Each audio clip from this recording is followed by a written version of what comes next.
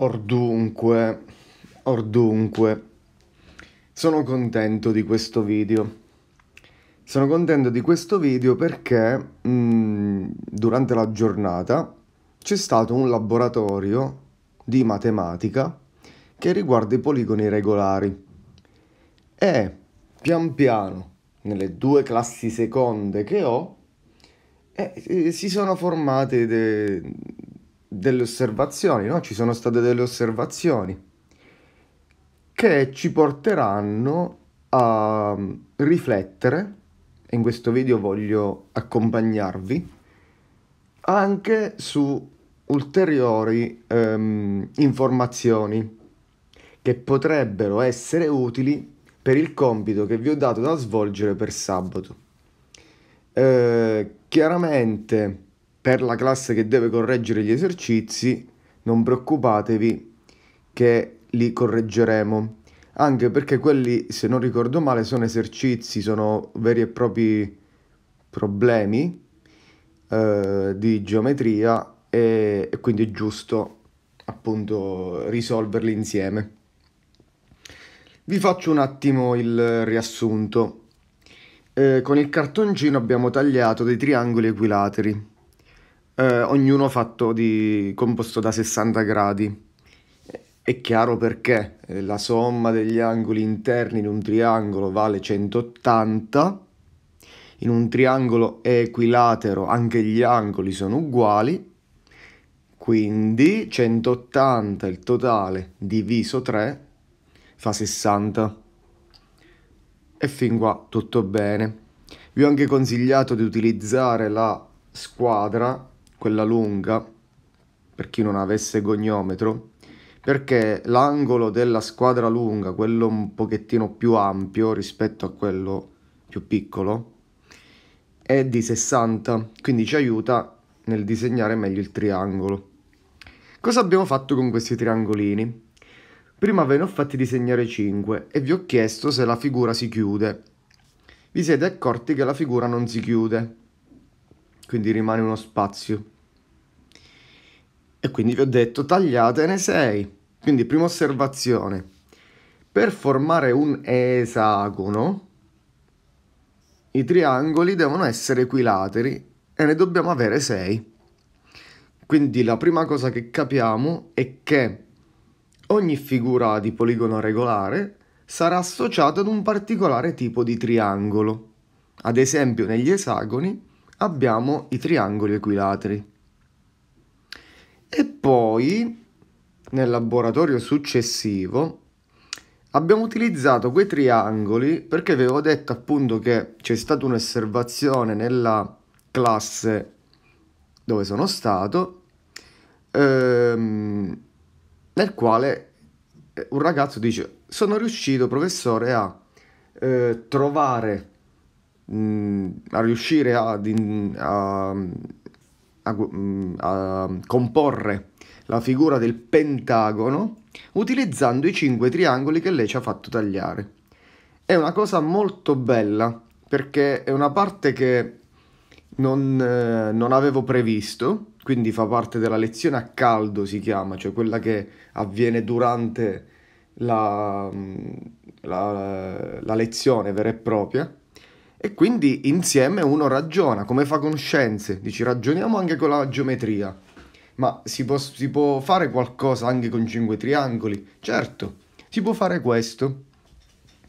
E poi facendo delle ulteriori osservazioni, eh, il ragazzo dice, beh, io riesco a trovare anche quanto valgono gli, gli angoli interni, perché se qui abbiamo gli angoli di 60 e l'angolo interno e l'angolo eh, esterno ma mm, eh, diciamo adiacente ai triangoli equilateri.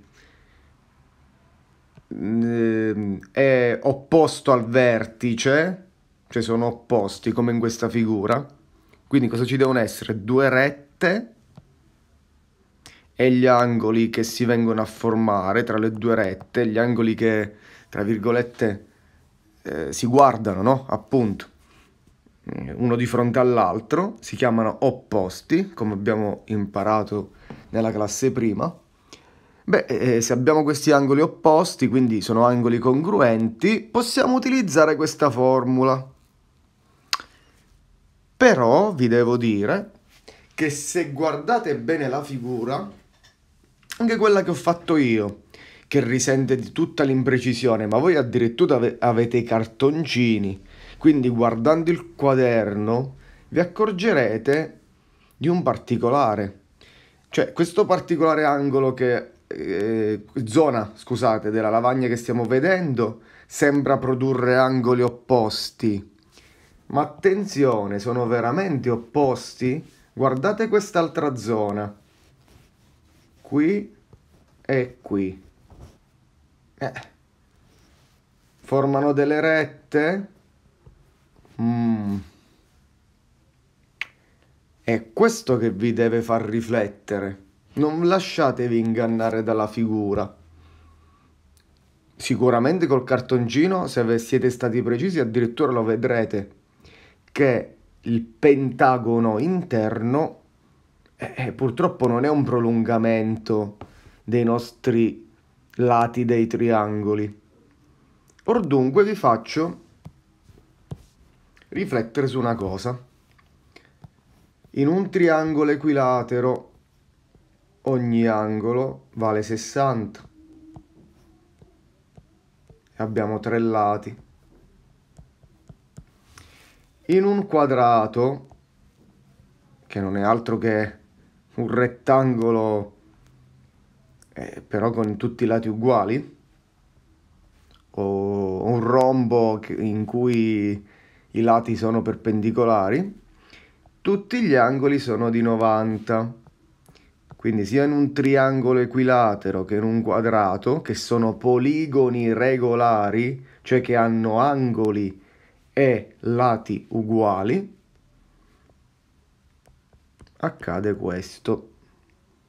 Il pentagono è l'oggetto misterioso che ancora non abbiamo mm. ok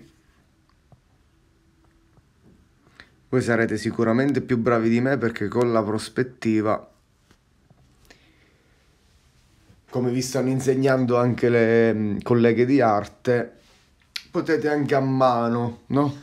Abituarvi a disegnare i poligoni regolari. Cinque lati, angolo misterioso, punto interrogativo voglio fare. Mm. Poi c'è quello da 6 quindi continuiamo sotto qui faccio freccia l'esagono Beh, l'esagono avete visto essere composto da triangoli di 60 gradi quindi eh, l'angolo interno è di 60 più 60 ovvero 120 Mm. Benissimo. Eh, c'è una sequenza. Se sicuramente abbiamo un angolo, non può valere 120. Eh, perché altrimenti avremmo una figura chiamata esagono. Ecco perché la formula, questa qui, non ci soddisfa. Perché il risultato di questa formula è 120 ed è riferita solo agli esagoni. Infatti se torniamo indietro, questi esagoni hanno gli angoli di 60 gradi. E se consideriamo quindi l'angolo interno è vero che è 60 più 60 ovvero 120 che resta da dire? Niente buona ricerca. Fate eh, le osservazioni sul quadrato, quindi utilizzando questi cartoncini con i triangoli di 60 gradi, di 60 gradi fate anche un quadrato e spiegate se esiste una tecnica per dimostrare che gli, gli angoli del quadrato sono di 90 gradi e poi sempre con la stessa tecnica fate un ottagono e cerchiamo di capire se anche per l'ottagono si può misurare qualcosina. Non vi dico di fare il, l'eptagono, cioè quello a sette lati, però intanto stiamo scoprendo qualcosa in più sui poligoni regolari.